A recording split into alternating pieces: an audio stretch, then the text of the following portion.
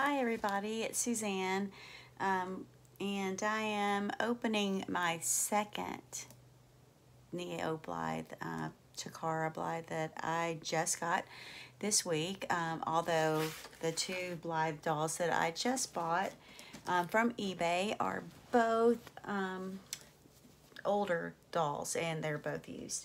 Um, and in my last video, which I um, am going to um, post on this so you can see it too, um, add it to so you can look at it. Um, I actually opened up a beautiful velvet minuet and she is so pretty and I was so excited. I ordered her after I ordered this one right here and I got them today on Friday, November the 12th of 2021.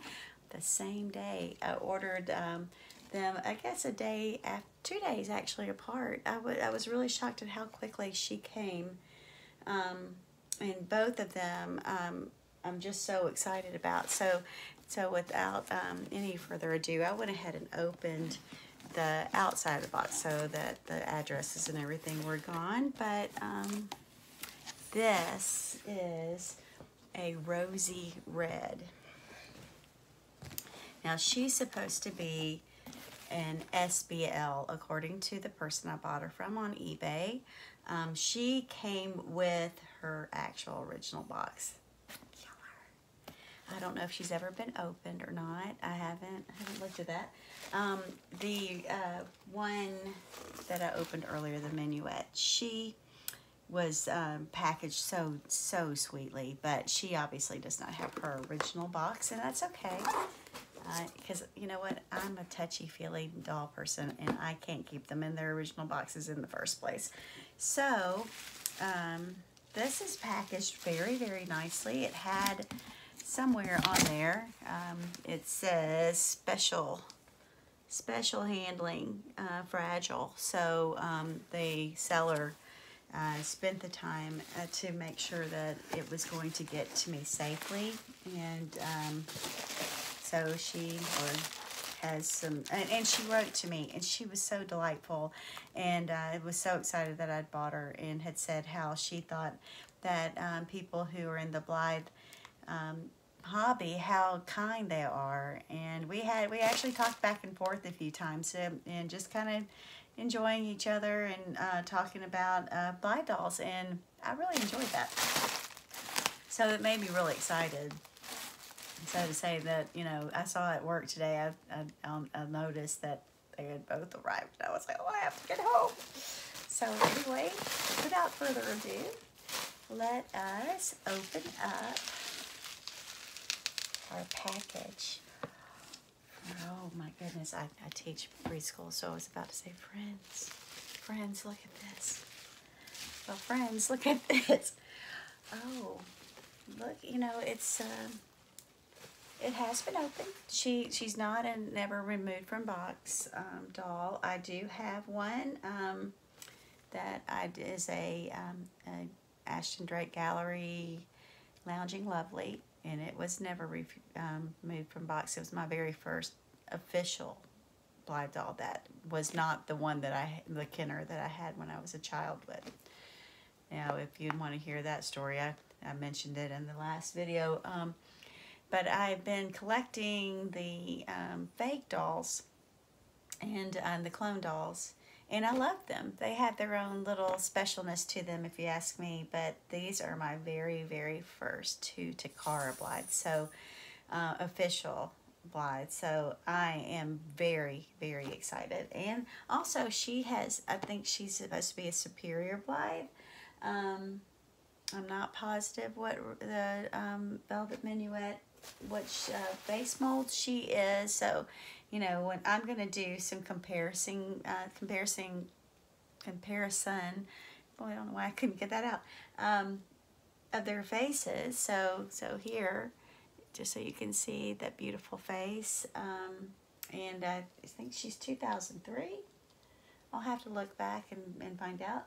Um, it looks like the Ro Rosie Red Encore is what she is. So she's not the one that was the original Rosie Red that was in 2001. She's the encore. She was also a special Korean. No, no, she's the Korean. The other one was the Korean. So she's the, that's why she's the SBL. Okay, and as if you look at her box, you can kind of see that there's this cute little window, and of course there's that the fun, um, really funky 1970s vibe that um, that she has, you know, and with the little windows here, there's on both sides. Um, she looks like she has been bubble wrapped very well on the inside. And so it says uh, Rosie Red Encore um, Blythe Takara and I'm assuming it's Takara, not Takara. A, a Blythe is trademark of Hasbro, 2006. Hasbro, okay. All rights reserved. Blythe character rights are licensed in, licensed in Asia to Crossworld Connections Limited, manufactured and distributed by Takara Company. All right, so I have been hearing lately, and it could be a rumor, I don't know, that maybe back in this past July that after the 20th anniversary of um, the Takara Blythes that Hasbro is going to have a different manufacturer create Blythe dolls. So these, you know, are even probably going to be even more expensive, I think, because you can't, you're not going to be able to get even Takara Blythes anymore. Um, it's going to be interesting. And with all the craziness of trying to get things from Japan right now or from Asia in general, um, it's just really hard. I, I have some dolls on order from AliExpress that have are already a, a two weeks late. Um, and that they they shipped long before all these problems happened with uh, all of these ships being stuck in the harbor in in um, California. Um, so, oh, so um, you know, it's it's uh, it's kind of really terrible, really. Um, we'll have to see what happens. Um, it could make a big dent in uh, um, this uh, this hobby of ours. So anyway, well, I don't know. I'm just making a comment. Um, so here's that beautiful box, and it is a little crushed, but it's been around since 2000 and what I say it was 2003, 2006. Been around for a while, so you know, and for it to be in that great a condition, I think that's wonderful. And here she is, friends. Oh, there I go. Yeah, here she is. Um, oh, she's so. Hmm, she does have a weird smell. No, it just smells like she's been in a box. She does smell like she's. Oh, but my goodness, what a face. Okay, so we have her official stand. And so this is one of those stands that allows you to, I think, uh, have her standing up and it kind of disappears maybe. Um, I've seen those in pictures, but I've never seen one in real life. Um, and uh, it's black and chrome. I assume that's what that is. That's, that's very interesting. Oh, that's, nope, I'm wrong. It has the, here's the base. Okay, so it did come in two different things. So I guess I'll have to remember to try and keep those, um, all of these little pieces of plastic. Uh, but, you know, I'm not planning personally to sell her anytime soon. So um, I am planning to have her in my display case. Oh, she hasn't been taken out of the... She's attached, friend, everyone. I'm such a pre-K teacher. It's ridiculous. Okay, um, so, but she's been, some things have come out. So, because this is definitely not an original um, Ziploc bag, I wouldn't think. Okay, so what is, oh, she has a stole. oh, she, and it says R on it. Oh my gosh, can you see that? It's so cute. It's, um, it's fake fur. It's a fur mink stole. Like the 1950s, my mother had one of those. I still, I actually have one that belonged to my ex-husband's grandmother um, that, uh, you know, I would never wear. But still, it's, it's uh, very important to me. So that's very interesting. Um, let's see, my low power mode is coming on. So let me, I thought I had this clicked in, but apparently I did not. Okay, did that help? I hope it did. All right, so she is attached by something. Oh, she has, she's attached here. And I just had some things fall out. So let's see, we have, um, oh, some hair clips and they are hearts little heart hair clips. Um, those are cute. And uh, yeah, she's uh, red and black. Everything in this is red, oh, including her very, very fancy red and black purse. so cute. Um, makes me think of like the Spanish lady or who was going to do the maracas or whatever those are called. What I think of. And oh, she has slip-on little high heels that are very cute. And I am missing somewhere. I just lost one of her, her little, oh no, here's stock. She has two red stockings that I don't know exactly why you would have sock stockings. There's stock, sock stockings. Seems a little bizarre, in my opinion, to wear stockings that are socks with little pointy, little pointy shoes that are slip-ons. Um, I don't know the fashion sense in that one, but anyway, that's what she has. Oh, she has her very own comb, which is so very securely attached to this. I don't even know I'm going to take that out. In fact, I think I am not. I'm just going to do this. I can use something else other than that comb to comb her hair. And I'll try and keep this box as nicely um, neat as I can. Um, and she does, she is attached here at the bottom. And she has a little card that I can't get to. I don't know how to get to that uh, without messing up this box. So between the the uh, comb and that, I guess I'll never know what it says because I don't think I'll be doing anything with that. But now to her. Oh, wow. Yeah, she does have a very, that, um, that Spanish lady, um, you know, look like she's going to start, start doing the dance. Um, I'm not sure if that's what she was supposed to be like. But man, is she beautiful. Wow. What a pretty face. Let's see. All right, so this is the SBL, and I don't know. Yeah, there's definitely some differences. Um, so subtle. It's hard to really tell, but they are so beautiful. And, you know, it's so interesting that they can be the same doll and look completely different just because of their hair and which her hair is also kind of funky. So I wonder why Takara Blythe dolls have such kind of like, it's, it's weird. It's a weird feeling. I don't, I don't know what that is, but okay. She does not have earrings, so this must have been before the earrings had started. Uh, she also is a she's a 2003 it says is what her face mold is 2003 even though she may have been a 2006 um, edition. So um, that's interesting. I am gonna take her little skirt down and look at her um, leotard because apparently this red creates some um, problems and has left some coloring on these dolls. Um, I don't see it as being a big problem, but maybe she may not stay in her red outfit.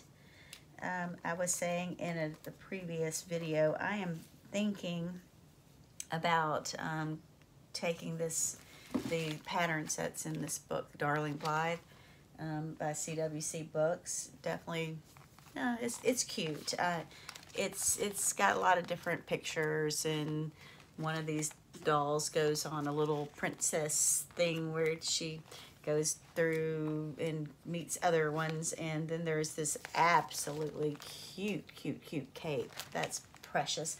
But mainly, I think what I like about it is at the end, we have patterns. So I'm going to teach myself to sew. I'll, I'll make some videos of that too um, because I think that that is something that if you like, if you're a doll collector, I mean, it's nice to be able, they're very expensive. I've been looking at some really beautiful things on Etsy and um, even uh, the seller who um, I told you we had spoken back and forth, she mentioned to me that um, vintage skipper uh, clothes would fit this doll. And I believe she has this, maybe she does not have the original Licca body or Licca or whatever you pronounce that as. And she doesn't have a lot of staining. Um, there are some little somethings on her back. Um, hard to see, but some, some line, a line here and a line there. Um, it says Blythe trademark. The body is a 2002 Hasbro CWC Takara China, and the head plate is 2003. So, without further ado, and this is what her body looks like, um, which to me reminds me of what an original, you know, Blythe doll looked like. Um, she, of course, does this. Uh, she does have knees that work. That's nice. Um, okay, she does bend a little bit. That's kind of kind of hard. She does have kind of a down look too. Not quite as far down as the Velvet Minuet. Okay, and then she has pink. Okay, I'm to move that over so we can see a little better. Her eyes are pink. I do like her red lips. I think she has really pretty lips. Okay, I love, there's something about Takara um, blue eyes, I, and just the, the blue eyes. I, you know, I, in a way, I wish I had like eye chips that were the same color in every expression. That's one thing I'm not really quite sure I really ever liked about Blythe. And I never have liked the orange eyes, I must admit. They're, they're not my favorite. And with them facing forward, it's kind of a little depressing. But then she, of course, had, like, she came with the green side facing. Um, I love the green, and I love the blue, and really I would love it if we had real brown eyes, but I would never change these dolls. These dolls, to me, are going to stay just the way they came. The only thing would I would do any differently would be to, um, I may clean her hair because her hair is very straight. It's thick. She has a lot of hair, but it does have a weird greasiness. I mean, people have been saying that, and I had no idea until I felt it myself what that really meant. But you know what? There is something. I think this is what it is. And if you're a mother, I mean, I understand. I totally understand how these mothers and people can get so involved in those um, those reborn baby dolls. Oh, my goodness, they feel like real babies. But I don't I'm not a collector. But I have see, been to a doll show and I have seen, I have seen that in action. Wow, that's crazy. These uh, ladies and these pushing carts and having um, you know strollers and they have them in little things and they look they put them in their car seats. Those babies. I mean, I held one that was six thousand dollars and it was uh, the the woman who created it was sitting right beside me and that baby felt like a baby. Oh my gosh. It was so so sweet. And being a mother i mean it's you know my my youngest baby's 15 but there is something why i'm saying this it's about it's about their heads. You know of course that body is um, you know, I guess a fashion doll, and it was supposed to be kind of like a Barbie or something like that. Um, and I would say she's not a little girl. Obviously, she she does have. She's a young woman, um, but there's something about that head that just makes you feel kind of like it's like about the size of a newborn. A little smaller, of course, so it's thinner. But the the that right there, I mean, it just I think that might be something about Blythe that I really love. I, I maybe somebody could you could tell me what you think in in the comments. Um, but I know she doesn't have her clothes on right now. I'm gonna just uh, and, oh look, it does have an underskirt and then that overskirt. Uh, yeah, she just looks like um, the Spanish lady. I, I guess that's what I want to call her. But she's so beautiful. Um, and I, I know I can't think of the name of the dance right now, but um, but I uh, I really I do like her, and um, and I like her I like her stock. Um, but I think I'm gonna put her in something else, just because mainly it's not because I don't like the the the look of the um. Ah, you're gonna tell me in the comments. I know. Um, I just can't think of it right now while I'm being while I'm filming. And I, you know what I know, we both know they they have the castanets and and all of that, and and they do that beautiful dance, flamenco dancer. Sorry, but uh, and look at that. Ooh, how fancy she is! But look at that face. Uh, you know, and it's also I love how wide her face. Hello, growing up, people would take my cheeks and pinch them and all that stuff. Um, so she really did remind me of me. I mean, I, I think that's why I love them too. And and you know, so many people they can look just like them. Um, not just dark headed ones, but every they they they have so many personalities and they have they can be so much like the collector. I think uh, they can be a mini me to uh, so many different people, and even with the ones that are being um, created now, where they're changing them into boys. I mean, it's there's just so much, so many places, and so many things that you can do to be a um, a Blythe doll collector and I'm so glad I started this and I'm so glad I'm in this hobby and I do hope that I find my Kenner um, one day. and one day uh, Kenners are probably going to be like the ones I really am going to try and collect. But as I said, I'm going to try and do a few um,